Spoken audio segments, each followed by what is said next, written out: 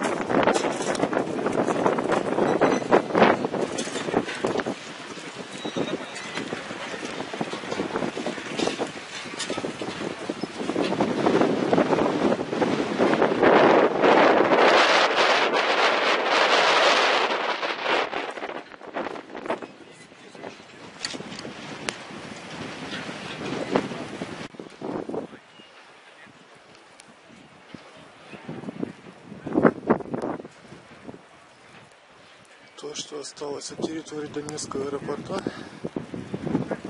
Сегодня, 16 февраля 2015